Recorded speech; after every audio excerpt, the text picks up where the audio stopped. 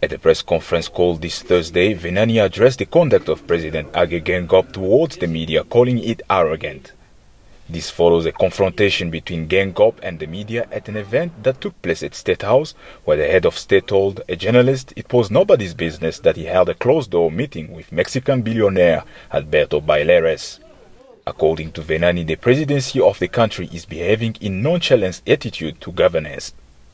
I don't mind what the president says, now and often, but it is wrong for the president to tell members of the media, ah, that is none of your business.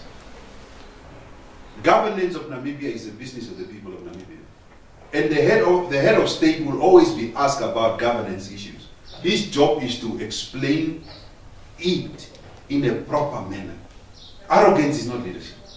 The assertion that Geingob is arrogant were quashed by presidential spokesperson Dr. Alfredo Hengari in a phone call interview with Nampa on Thursday.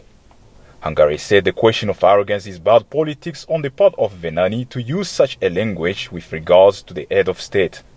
Hengari added that Geingob is a welcoming president who receives everyone with open doors, including the media. Antonio Barera, Nampa News, Windhoek.